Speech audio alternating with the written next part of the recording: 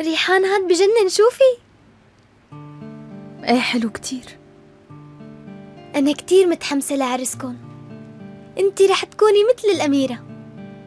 لما تفوتي الكل رح يكون عم يطلع عليكي ويطير عقله بجمالك. رح تكوني طالعة كتير حلوة لدرجة تخلي كل العالم تتفاجأ.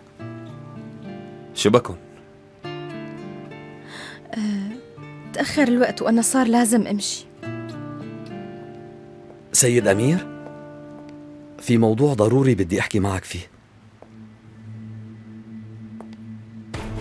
شفت الست جاهدة اليوم. كانت قاعدة عند الساحل لحالها. جهز لي السيارة. خير شو صاير؟ عندي مشوار صغير. بس أصحك تروحي قبل ما أرجع ماشي؟ ما بتأخر اتفقنا؟ استنيني بالبيت لأجي.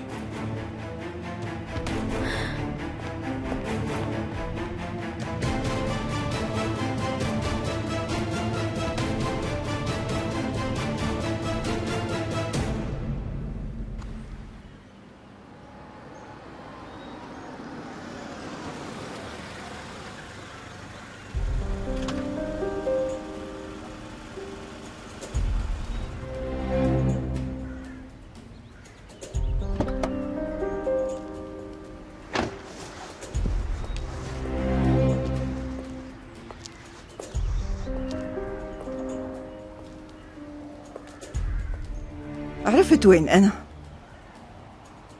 معناها ما عاد في داعي تضل هربانة يلا خلينا نروح. جاية معك.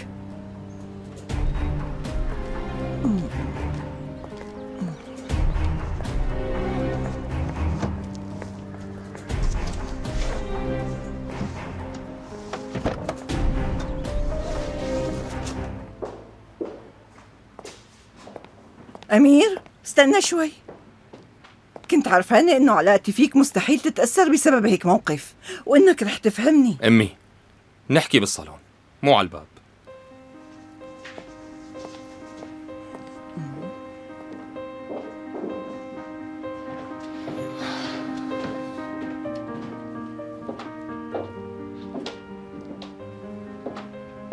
فوتي أمي.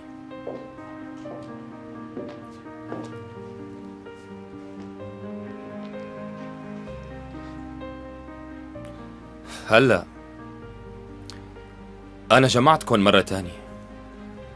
لأنه الموضوع يلي رح أحكي فيه مهم وضروري كتير. أنتو كلكن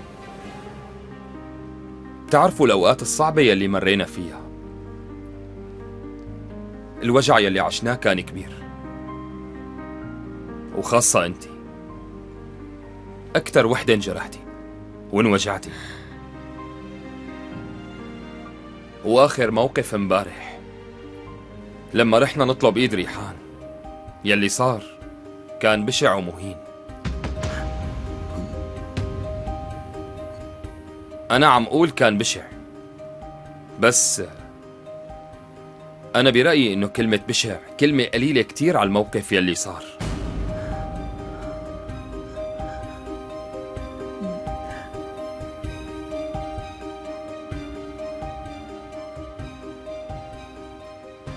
خلونا ننسى.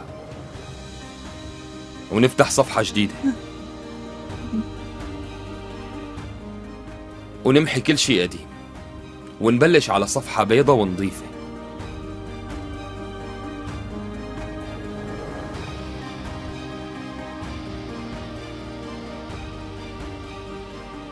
من هاي اللحظة بدي كلياتنا نعيد حساباتنا ونبلش من جديد. ولهيك قررت إنه مسؤولية هذا القصر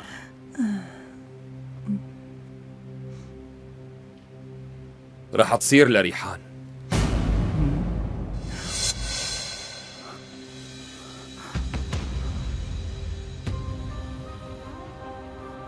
واللي بتقوله هي بده يتنفذ فورا. والكلمة النهائية لإلها وأي قرار بده يتاخد عندها.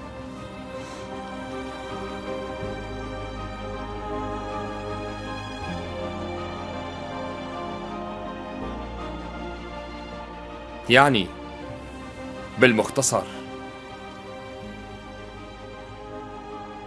ست القصر وصاحبته الجديدة.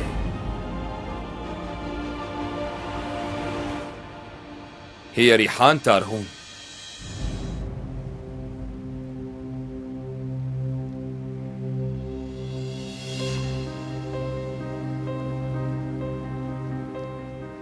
هذا قراري وممنوع أي حدا منكم يعترض.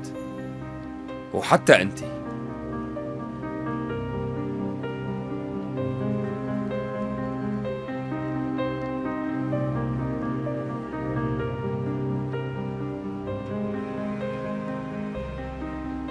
اللي عملتيه كتير بس لأنك أمي. من واجبي أحترمك وبغض النظر عن كل الأغلاط يلي غلطتيها.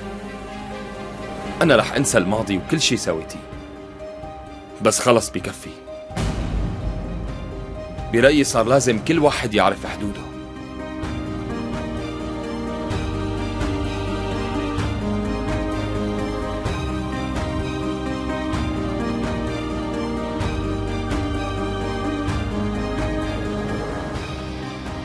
استغلي هالفترة لتراجعي حالك وتعيدي حساباتك.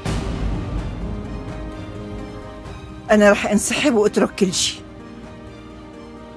لأنه أنت قررت إني ما يكون إلي علاقة ولا كلمة بهذا القصر يلي مفروض إنه هو قصري.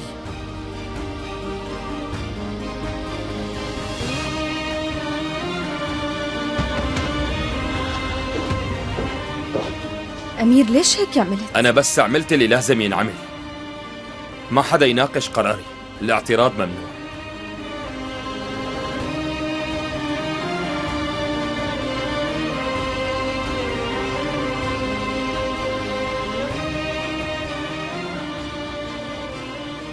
وهلأ صار فيكن تروحوا على شغلكم آسف عطلتكم